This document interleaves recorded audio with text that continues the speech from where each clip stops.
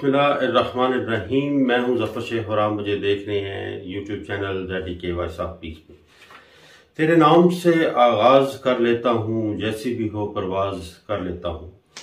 ताज़ा अपडेट्स के साथ आपकी खिदमत में हाजिर हूँ। पाकिस्तान के हवाले से अपडेट करना चाहूँगा। पाकिस्तान में जिस तरह आपको पता ही है कि सियासी गहमा गहमी सियासी सूरत बड़ी वार्म अप हुई हुई है, दर्जा हरारत इंतहा पे पहुँचा हुआ है मौसमी दर्जा हरारत के साथ साथ। और इस सिलसिले में आज मुल्तान में इमरान खान और पाकिस्तान तरीके इंसाफ की तरफ़ से आखिरी जलसा होने जा रहा है बीस मई का मुल्तान में। तो इसमें इमरान खान का कहना है कि इस जलसे में वो चंद बातें भी लोगों के सामने नई रखेंगे और इसके साथ साथ इस्लामाबाद के लिए काल का भी वो कहेंगे। तो देखेंगे अभी ये जब जलसा होगा तो इसकी अपडेट्स के लिए भी मैं आपकी खिदमत में हाजिर हूँ अगर दूसरी तरफ़ मौजूदा हुकूमत की सूरत के हवाले से बात की जाए तो इस वक्त डॉलर जो कि उसकी उड़ान तेज से तेज तर होती जा रही है और पाकिस्तान की मैशत पर इसका बहुत गहरा और बड़ा बुरा असर पड़ रहा है। डॉलर तकरीबन 200 से ऊपर चला गया और ये एक तशवीश, तशवीशनाक सूरत हाल है। अल्लाह ताला आने वाले वक्त के लिए पाकिस्तान के लिए, पाकिस्तान के लोगों के लिए अच्छा लाए और मैशत का भी अच्छा हाल हो। इस सिलसिले में आईएमएफ के साथ भी मौजूदा हुकूमत के मुजाकर जारी हैं और उनका भी कहना है कि वो उम्मीद करते हैं कि I M I M F की तरफ़ से हमें कुछ राहत या सहूलियात मिलेंगी बेल आउट पैकेज की सूरत में। तो लेकिन आई एम की तरफ़ से वही शराय जो उन्होंने रखी हुई है कि ये दो तीन अदारों में बिजली के महकमे में, गैस में, पेट्रोलियम मसनूआत में जो सब्सिडीज रखी गई थी पिछली हुकूमत की तरफ़ से, उनको ख़त्म किया जाए और प्राइसेस को बढ़ाया जाए और इसके साथ साथ टेस्ट की के लिए भी असलाहत की जाए। लेकिन देखते हैं अभी मौजूदा हुकूमत इस सिलसिले में क्या इकदाम करती है। इसके साथ साथ लोड शेडिंग का जो मसला है इस वक्त बहुत ही गंभीर से गंभीर होता जा रहा है और इस वजह से रोज़गार का सिलसिला बहुत ज़्यादा मुतासर हो रहा है। तकरीबन सात से बारह, चौदह घंटे की रोड शेडिंग पाकिस्तान के मुख्तलिफ़ शहरों में हो रही है। तो इसके लिए भी मौजूदा हुकूमत को कुछ मुश्किल फैसले करने होंगे और आवाम को इस टेंशन या परेशानी से दूर करने की कोशिश करनी चाहिए। बिलाल भुट्टो अमेरिका से अपने दौरे को मुकम्मल करने के बाद अब वो दो रोज़ा दौरे पर वो चाइना जा रहे हैं और वहाँ जाकर वो सी पैक के हवाले से इकतदी अमूर के हवाले से, तजारती हवाले से वो वहाँ बातचीत करेंगे और आलमी उमूर पर भी मशावरत होगी। देखें अभी बिलाल भुट्टो का यह दौरा कितना सूदमंद साबित होता है पाकिस्तान के लिए। इसके हवाले से अभी वजी अजम शहबाज शरीफ साहब आज एक रोज़ा दौरे पर 20 मई यानी 2022 को कराची में हैं और वो वहाँ शिप यार्ड के, के, के एक जहाज़ के के अफ्ताह के लिए और तकरीब के लिए वहाँ गए हैं और वहाँ भी उन्होंने तकरीर भी की। मरीम नाज के अगर जलसे सरगोदा के जलसे की बात अगर की जाए तो जलसा तो आ, आ, अच्छा था, बड़ी तादाद में लोग वहाँ जमा थे। उसकी वजह यह भी है कि वहाँ के तकरीबन जितने एम एन ए और एम पी एज हैं, वो नून लीग से ताल्लुक़ रखते हैं। और नवाज़ शरीफ साहब अपने इब्तदाई सियासी दिनों में भी सरगोदा से काफ़ी हमायत हासिल किया करते थे अवाम की। तो ये सिलसिला उसी तरह चल रहा है तो काफ़ी तादाद में। लेकिन इस जलसे में एक हसब ममूल मरीम नवाज़ और हमजा शबाज ने कड़ी तनकीद की और ख़ासतौर पर इमरान खान का नाम लेकर और उनको काफ़ी सारे अलकाब से भी नवाजा गया जो मैं इस आप दोबारा दोहराना नहीं चाहूँगा।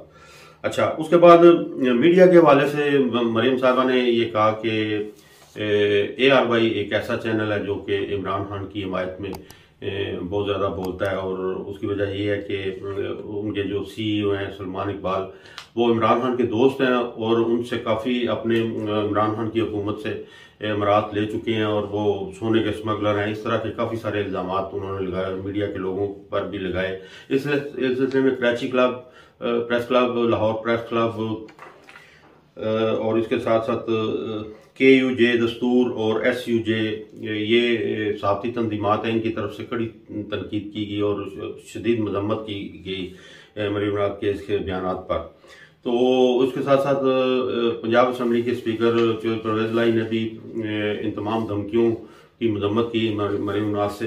तो उन्होंने कहा कि मीडिया एक ऐसा ज़रिया है जो कि किसी भी सियासी हकूमतों के जो इकदाम होते हैं, चाहे वो मनफी हों या पॉजिटिव हों, उनको उजागर करने की कोशिश करता है। और मीडिया एक शीशे की, के घर की मानंद होता है या शीशा होता है, जिसमें तमाम हकूमत या रियासत के जो इदारे होते हैं या सियासी जो हल्के होते हैं या सियासी जमातें हैं, उनके तमाम तर इकदाम या कारकर्दगी को वो सामने लाते हैं और उसमें वो, उनको देखा जाता है। तो मीडिया, मैं समझता हूँ कि इलेक्ट्रॉनिक हो या प्रिंट मीडिया हो, ये किसी भी रियासत या मुल्क के लिए बड़ा अहम रोल अदा करते हैं। इसके साथ साथ वज़ीर दाखिला ने भी एक इजलास बुलाया मुल्क की सूरत सिक्योरिटी की सूरत के हवाले से, और उन्होंने ये, इसमें ये ज़ोर दिया कि इस वक्त जो सियासी सूरत बनी हुई है, लॉन्ग मार्च का या जलसों का सिलसिला है, इस सिलसिले में भी उन्होंने बातचीत की और मुशावरत की अपने इदारों के साथ, अपने इदारे के सरबराहों के साथ। तो इसके साथ साथ मौजूदा हुकूमत ने एक अहम, एक कदम तो ये स्टेप तो लिया है कि उन्होंने जितनी भी दरामदी मसनूआत हैं, उन पर फौरी तौर पर पाबंदी लगा दी है। इससे किसी हद तक कुछ ज़ाहिर है, डॉलर की कीमत में फ़र्क तो पड़ेगा। मीशत का भी कुछ मुस्बत असर पड़ेगा, लेकिन इसके बरक्स ये दूसरा पहलू ये भी है कि इस सिलसिले में जितनी भी अगर दरामदी मसनूआत या अशिया को बंद कर दिया गया तो इससे छोटे मोटे कारोबार करने वाले लोगों पर बहुत बुरा कारोबार के हवाले से असर पड़ेगा। तो ज़ाहिर है हुकूमत को इस तरह के मुश्किल फैसले ज़रूर करने होंगे ताकि वो अपने मुल्क मैशत को मज़ीद ख़राब होने से बचाया बचाया जा सके। इस सिलसिले में एक बहुत बड़ा अहम फैसला जो आज इलेक्शन कमीशन की तरफ़ से सुनाया गया, ये जो 25 अरकान सूबाई असम्बली थे, उनके हवाले से इलेक्शन कमीशन ने आज फैसला सुना दिया है और उनको डी डी सीट कर दिया गया है। यानी वो एनी हो, वो ख़त्म हो चुके हैं, मेंबर ऑफ़ पंजाब असम्बली नहीं रहे। तो ये एक बहुत बड़ा फैसला है इस सियासी तारीख में, पाकिस्तान की सियासी तारीख में, और इसके क्या असरात मुस्बत या मनफी होते हैं, ये आने वाले वक्त में हम देखेंगे। इसके लिए भी हम आपको अपडेट करेंगे। इसके साथ साथ वजी अजम शबाज शरीफ साहब ने कल यानी इक्कीस मई को मई को कौम से खिताब करने का फैसला किया और उस खिताब में देखें अभी शबाज शरीफ साहब क्या कुछ बताते हैं, अपनी कारकर्दगी करदी के हवाले से बताते हैं, या अपनी अपोजिशन के हवाले से कुछ बताते हैं। ये भी आपको इन मैं अपडेट करूँगा, जो कुछ भी सिलसिला जिस तरह का भी हुआ। और इसी तरह मैं समझता हूँ कि इस वक्त जो सूरत सियासी तौर पर बनी हुई है पाकिस्तान में, इसको हैंडल करने के लिए ताकतवर हलकों को या मुख्तर हलकों को ज़रूर इस मैदान में आना पड़ेगा और उनको बहुत ही अच्छे तरीके से अपने तजुर्बा तजर्बे से इन तमाम सारी सूरत को हैंडल करना पड़ेगा। क्योंकि यही एक मैं समझता हूँ कि एक हाल है किसी मुल्क में इस तरह की अगर सूरत बन जाती है तो उसको ताकतवर इदारे रियासत के जो होते हैं उनकी ये अवलिन ज़िम्मेदारी होती है कि वो उन, उनको कंट्रोल करें।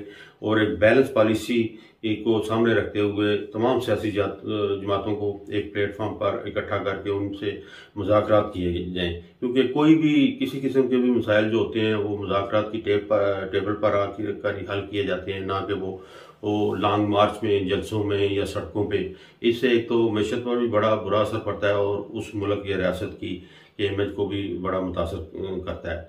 तो हम ये दुआ करते हैं कि आने वाला वक्त अच्छा हो पाकिस्तान के लिए, पाकिस्तान के लोगों के लिए। और यही एक सूरत जो इस वक्त बनी हुई है। इसकी, इस पर तमाम दुनिया की नज़रें इस वक्त लगी हुई हैं कि पाकिस्तान में क्या कुछ हो रहा है। तो अब तक के लिए इतना ही। नए वीलाग में नए मौजूद के साथ दोबारा आपकी खिदमत में हाजिर हूँ हमेशा के लिए पाकिस्तान जिंदाबाद और डेनमार्क पाइंदाबाद।